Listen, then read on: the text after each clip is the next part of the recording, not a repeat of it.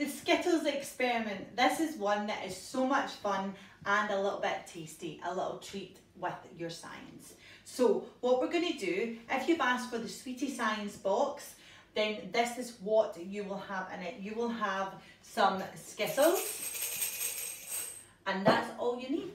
Skittles and a side plate from home, a white one preferably. We ask you to use the um, ceramic side plates because using the paper plates gets really messy, they get all kind of soaked up and it's a little bit harder to tidy away. So mums and dads, if you give your little ones a side plate from the kitchen, all of the colours will come off um, and it's just a little bit easier to tidy up. So we're going to do this. We are going to arrange our sweeties in a circle around the plate.